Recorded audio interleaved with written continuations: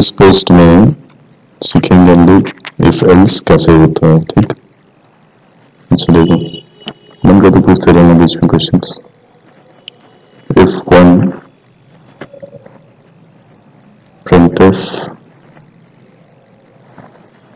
true, else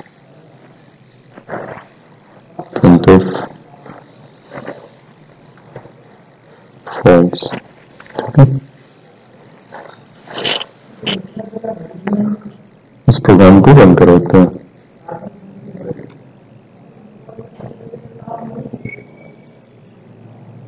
क्या print हो गया है? ट्रू प्रिंट हो गया है, ठीक है? सी में ज़ीरो छोड़ के और कोई भी चीज़ जो होता है, वो ट्रू होता है। ज़ीरो जो है फॉल्स होता है। ये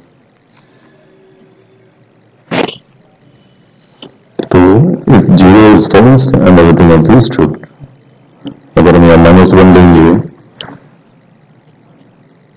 तो भी ट्रू आएगा। ठीक? अच्छा। अब यहाँ पे हम एक और स्टेटमेंट लिखते हैं प्रिंटर्स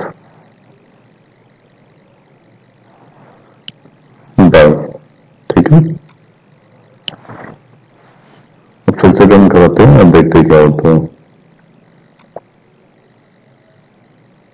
ट्रू लिख के आया और बाय लिख के आया कंडीशन ट्रू तो ज़ीरो छोड़ के कुछ और है तो ट्रू भी आया और बाय भी आया ठीक है। अब इसको ज़ीरो कर दे तो क्या होगा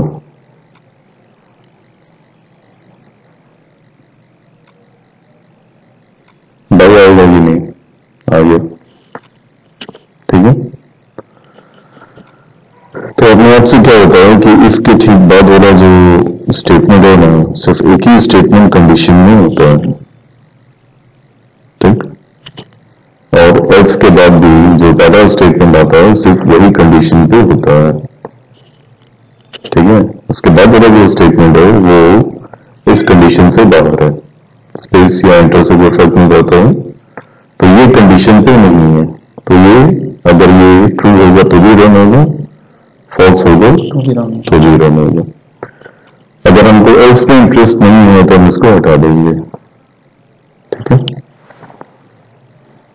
तब क्या होगा तो प्रोग्राम रन होगा तो ये आएगा अगर ट्रू होगा तो ट्रू प्रिंट होगा अगर फॉल्स होगा तो कुछ भी नहीं होगा। बाई तो प्रिंट होना ही था।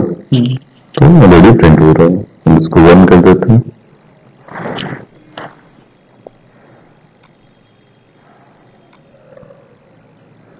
ठीक है? तो क्या है इफ़ होने पे ये वाला पार्ट रन होगा एल्स होने पे कुछ भी नहीं होगा। हम लोगों ने उसको लगाया नहीं। है अब ऐसा नहीं हो सकता है कि हमको सिर्फ़ एल्स में इंटरेस्ट है। सिर्फ़ एल्स में इंटरेस्ट है तो हम ऐसा नहीं कर सकते इफ़ नहीं लिखेंगे। हाँ इफ़ में एक ब्लैंक स्टेटमेंट छोड़ सकते हैं। तो जस्ट एक सेमीकोलन लगा के छोड़ दिया तो ये एक ब्लैंक स्टेटमेंट है। ठीक है? सिर्फ़ बाई प्रिंट होगा। और कुछ भी नहीं होगी। ठीक। एक से अधिक स्टेटमेंट को अगर कंडीशनल पे रखना है तो हमको ब्रेसेस के बीच में उनको डालना पड़ेगा। ठीक है? इसको हटा देते हैं।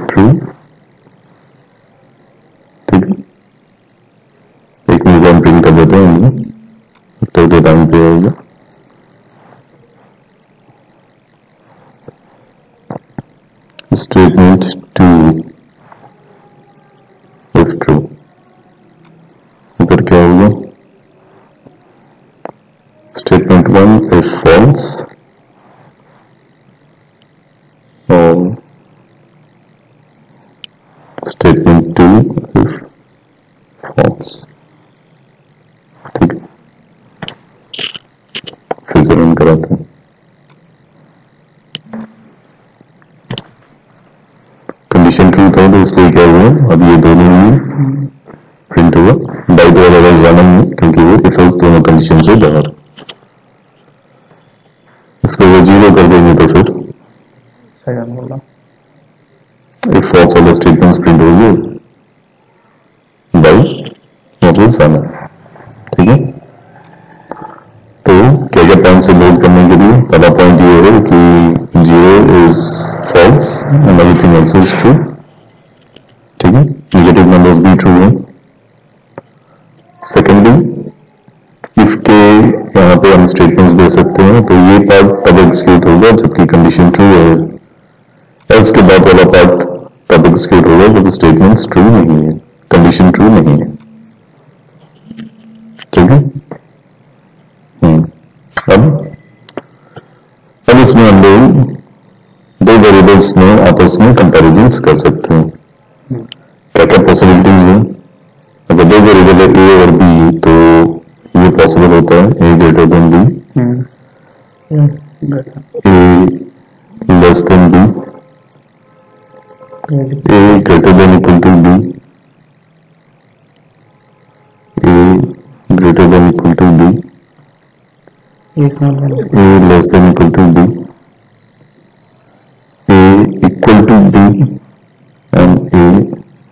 not equal to not equal to b ठीक है? A equal to b में बी का वैल्यू a में कॉपी हो जाता है। देखो हम लोग इसमें सिंगल इक्वल टू यूज़ करते हैं। और कंडीशन चेक करना है तो डबल इक्वल टू यूज़ करेंगे। Not equal to condition true नहीं हुआ तो। ठीक है? अब अगर मानते हैं ए इक्वल टू वन है और B equal to two concept condition true or concept condition false here.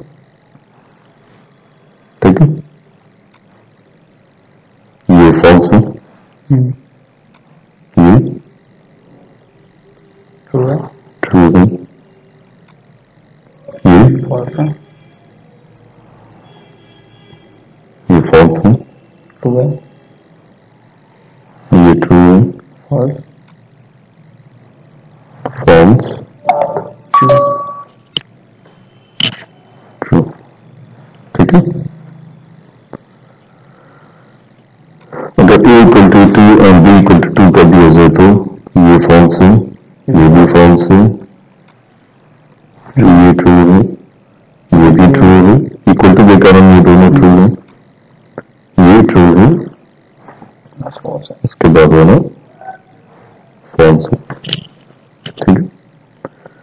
एक सिंपल सा प्रोग्राम देखते हैं जो दो नंबर्स का मैक्सिमम निकाल के देगा। ऐसा I T A is equal to one and B equal to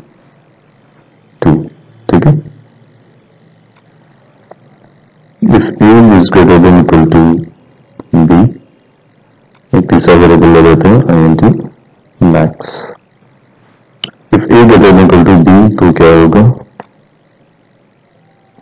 तो ये हो जाएगा max equal to A else max equal to B ठीक है? प्रिंट ऑफ़ पर्सन डी मैं लिख भी देता हूँ मैक्स इक्वल टू बी हो मैक्स ठीक।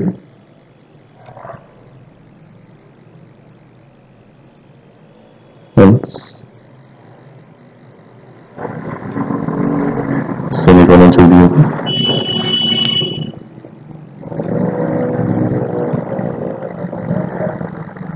तो से जो है ये मैक्स है। इसको अगर माइनस टू कर दें तो वन आना चाहिए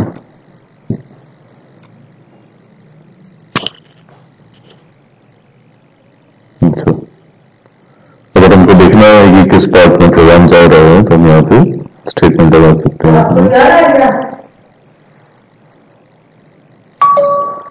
ये हो गया if ये हो गया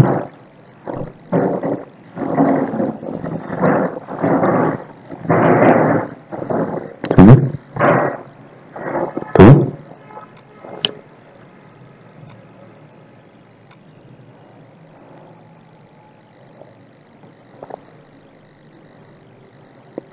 if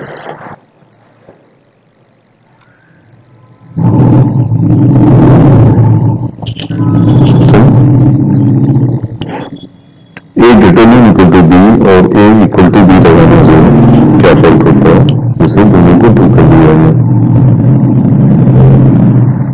ठीक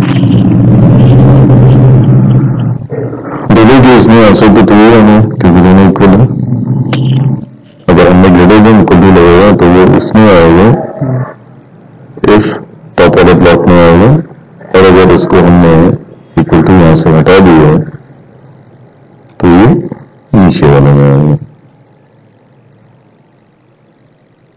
ठीक है?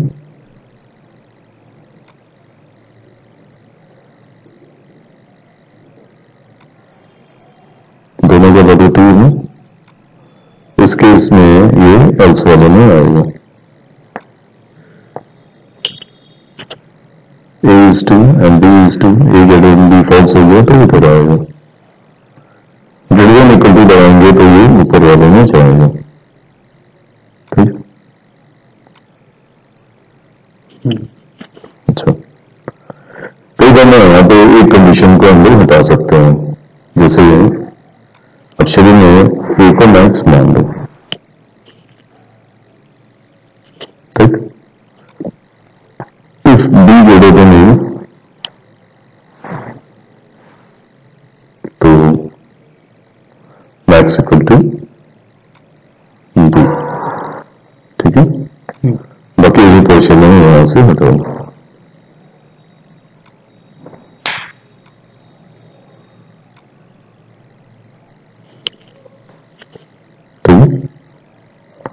तो क्या हुआ? अपने आप में मैक्स तो ए था। अगर बी ए से बड़ा है तो मैक्स बी हो गया। अगर ये छोटा होगा ठीक है?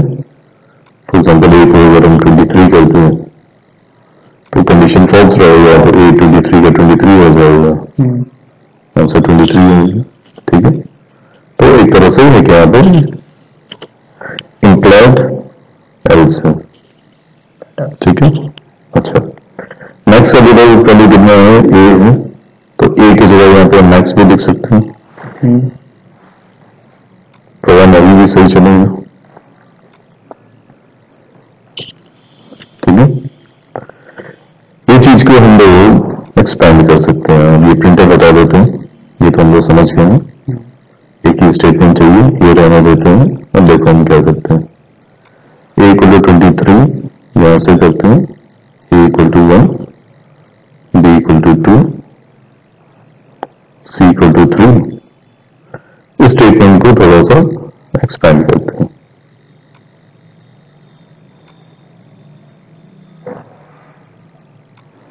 ठीक है?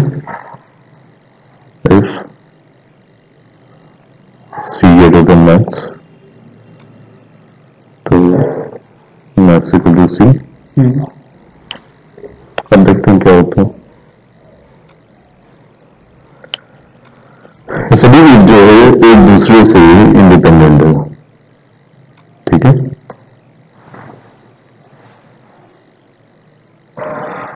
वन टू थ्री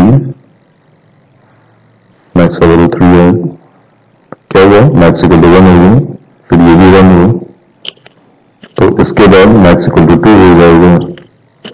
इसके बाद मैक्स इक्वल टू थ्री हो जाएगा। सभी कंडीशन सही होंगी। तो मैक्स को पहले वैल्यू पे इनिशियलाइज कर देना है। हर वैल्यू से चेक करते रहना है।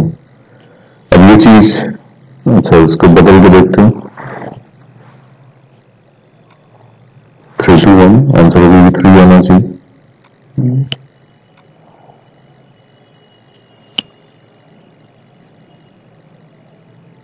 इसको थ्री करते हैं इसको three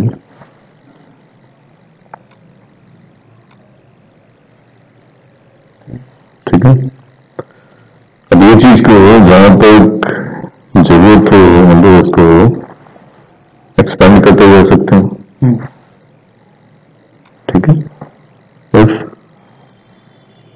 D greater than max max equal to D एक वैल्यू लेके शुरू करना है।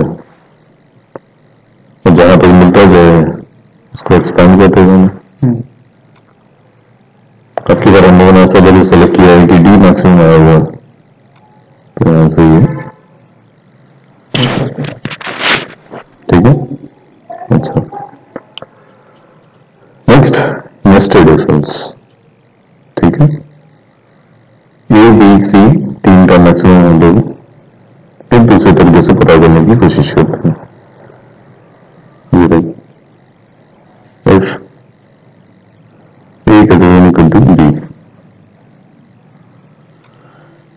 A B से बड़ा है। या इक्वल है। अब ए बी से बड़ा है या ए बी का इक्वल है तो सबसे बड़ा कौन सा है? तो ए तो बी से बड़ा हो गया। हम्म। तो अब हम ए और सी में कंपेयर करेंगे। में से बड़ा कौन सा है? ठीक है? If A greater than equal to C A B से बड़ा हो गया तभी इस ब्लॉक में आएगा ए सी से बड़ा होगा तब ये इफ़ करेक्ट हो गया। तो ऐसे केस में ए बी से भी बड़ा है ए सी से भी बड़ा है तो ये ए हो गया। Else else?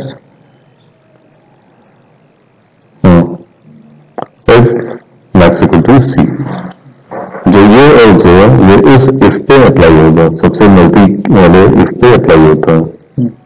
तो अगर ये कंडीशन सही है तो जो सबसे पास वाला है, इसका अपोजिट होगा। इस इफ़ का अपोजिट नहीं होगा ये। This else is applicable to this if अब यहाँ पे अगर हम एल्स में आएँगे तो क्या होगा? ये एल्स इस इफ़ का एल्स है ठीक? तो इस एल्स के अंदर में क्या सिचुएशन है? इस एल्स के अंदर में ये सिचुएशन है कि ए सी से बड़ा नहीं है। मतलब सी ए से बड़ा है। हम्म तो ए और बी ये एल्स इस पे अप्लाई होता है। ठीक है? तो ए बी से बड़ा है तो ये इस ब्लॉक में जाएगा। और अगर बी ए से बड़ा है तो इस ब्लॉक आएगा तो अब कंडीशन क्या होगा?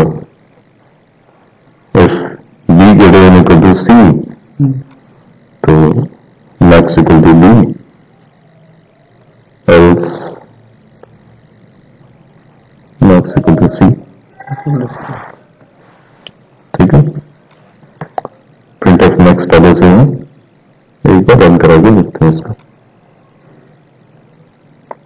मैक्स इक्वल टू थ्री है। अब इसको वन कर देते हैं, इसको थ्री करते हैं।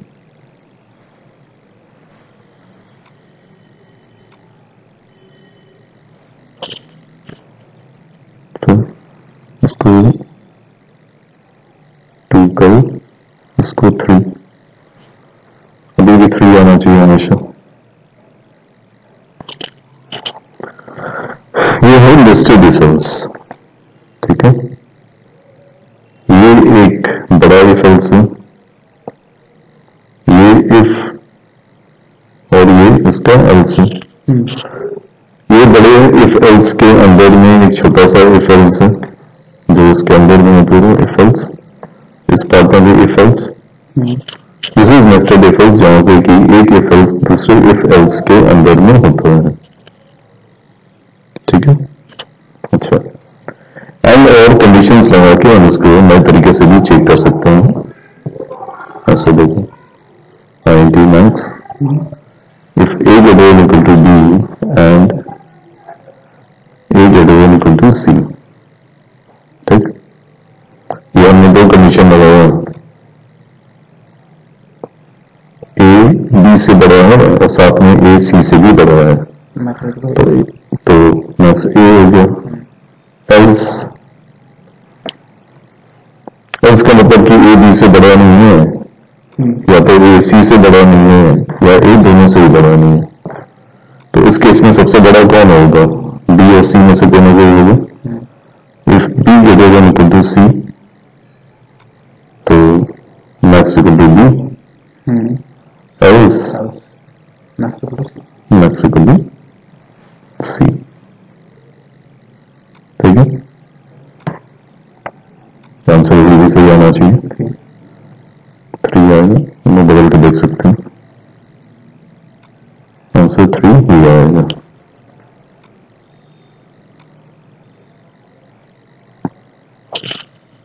है? इसको कहते हैं if else ladder if else का सीढ़ी। If else if else continuously चलते जाएँगे। इनमें से कोई एक ही कंडीशन ट्रू होगा। जो पहला कंडीशन ट्रू होगा, उसके बाद से चीज़ वहीं पे आके रुक जाएगा। अगर ये ट्रू होगा तो यही हो जाएगा। बाकी पूरा एल्स में आता। है अगर ये फॉल्स होगा तो इसको चेक करेगा। अगर ये सही हो गया तो इधर आएगा। अगर ये भी गलत हो गया तो इस पे आएगा। एक इथल्स लेवल में, आखिरी में कभी भी कंडीशन नहीं होता। है पॉसिबल वेरिएबल्स हैं वो सभी चेक हो गए हैं तो लास्ट वाला है अगर उसके पहले वाले सारे फॉल्स हो गए तो लास्ट वाला ऑटोमेटिकली ट्रू होगा अब तीन नंबर है तो तीनों में से कोई ना कोई तो बड़ा होना ही होना हम्म, ठीक है? ये एक इफ़ एल्स लैडर अगर और यूज़ करके चेक करना है तो हम इसको ऐसे करेंगे। If A less than B और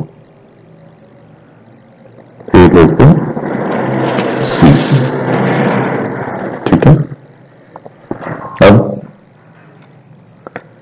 ए या तो बी से छोटा है या हम्म, और या तो ए सी से छोटा है। ठीक? तो ए या तो बी से छोटा है या तो सी से छोटा है। उसका सिंपल सा मतलब यही होता है कि ए सबसे बड़ा नहीं है। हम्म, तो ए सबसे बड़ा नहीं है तो सबसे बड़ा कौन है? बी और सी में से कोई है? हम्म, तो if B equal to C to B C L C else max to C ठीक है ये पहला इफ़ इसके अंदर एक पूरा इफ़ एल्स आ अब यहाँ पे अगर हम एल्स लिखेंगे तो वो इस कंडीशन का एल्स होगा तो इसका एल्स का मतलब है कि ए बी से छोटा नहीं है ए सी से भी छोटा नहीं है अगर इन दोनों में से किसी से छोटा नहीं है तो दोनों से बड़े है। Equal to to A. ठीक है? ये भी हम चेक करके देख सकते हैं।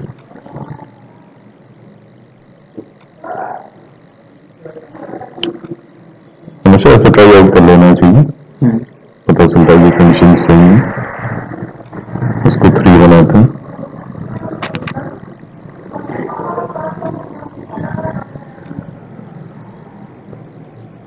ठीक है ये क्या है ये अगेन एक इफ़ एल्स लैडर है। हम्म, ठीक है? And it contains a nested if else as well ठीक है? इफ़ एल्स खत्म करते हैं